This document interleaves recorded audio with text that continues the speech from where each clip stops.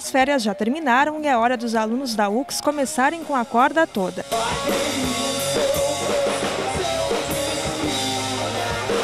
Para os calouros é o início da vida acadêmica e eles garantem que se comunicar não é problema. É uma área que me, que me chama muito atenção, a comunicação, porque eu sou muito comunicativa, sempre gostei de falar. Não sei, porque eu, eu gosto, sabe, de, de me comunicar com as pessoas assim. Comunicação mesmo por gostar de comunicar, de falar, de expor. A professora Daiane Scheid diz que o papel das disciplinas iniciais é integrar os futuros comunicadores à universidade. Eles vêm uh, bastante uh, cruz ainda, né, desse, desse ambiente universitário.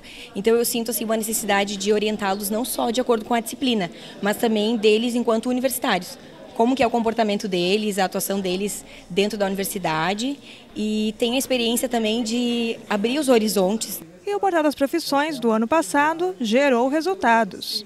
Esse ano a gente está encontrando vários alunos que vieram nos visitar durante o portal, gostaram aqui do ambiente, gostaram da gente, da nossa proposta de ensino e de aprendizagem e voltaram então como nossos calouros dos cursos de publicidade, jornalismo, relações públicas e fotografia. E o ano de 2012 promete. Então, incremento na agência, show de talentos, aula de início de semestre, tem semana acadêmica, tem uma mostra competitiva dos trabalhos práticos realizados em todas as disciplinas, muitas categorias, um novo jeito de fazer as coisas.